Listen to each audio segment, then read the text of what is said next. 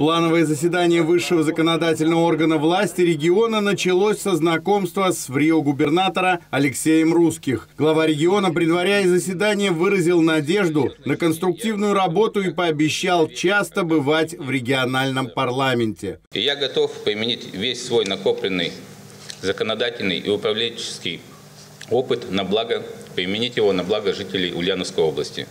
Рассчитываю на то, что мы с вами, несмотря на партийную принадлежность и различия в политических взглядах, сумеем найти общий нерв эффективного сотрудничества. На первой части заседания рассмотрели 15 вопросов, касающихся внесения изменений в законы региона. Работа парламентариев была слаженной. И неудивительно, среди тех, кто внес предложение об изменении законодательства, фамилии, которые еще совсем недавно трудно было представить рядом. Гвоздев, Гибаддинов, Кузин, Малышев. Одними из самых значимых депутаты определили изменения в закон о дополнительных мерах социальной поддержки семей, имеющих детей. Введение нового восьмого направления реализации финансовых средств именного капитала семья а именно оплаты стоимости проезда ребенка-инвалида и одного из родителей или э, законных представителей ребенка-инвалида, совместно с ним проживающего, к месту нахождения медицинской организации государственной муниципальной системы здравоохранения для получения консультаций врачей-специалистов по вопросам охраны здоровья ребенка-инвалида,